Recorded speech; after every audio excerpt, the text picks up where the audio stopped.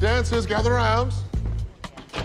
We've asked a lot of you lately to interpret one of the most challenging, iconic ballets in history, Swan Lake.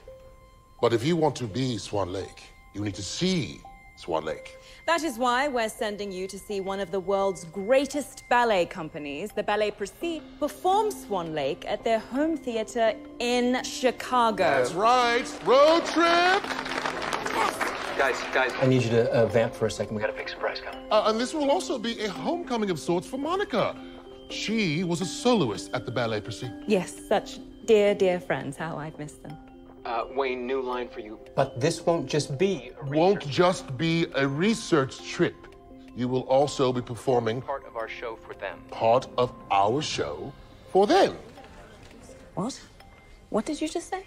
The performers of the Ballet Précis will be judging your performance, and if you impress them, there's a chance that you can drive away in style. Ah, Did you know about this? does my face look like I knew about this? Seriously, I would love a new car. No, you're not gonna get it though. But how can you pick a winner if we're all supposed to work together? Who cares? I want that convertible. Uh, dancers, go ahead, take a look. Uh, we'll be right back. Excuse me.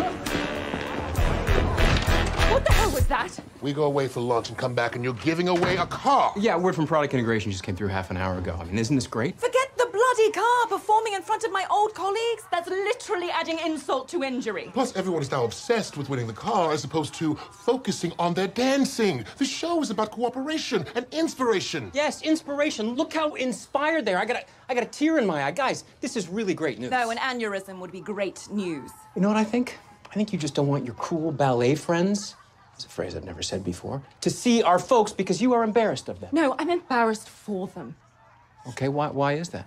Because once they see a real production of Swan Lake, and then they have to dance in front of those same professionals, they'll finally see themselves for what they actually are. A social club for the uncoordinated, an army of left feet, a rodeo of broken toys destined to perish in a fireball of humiliation.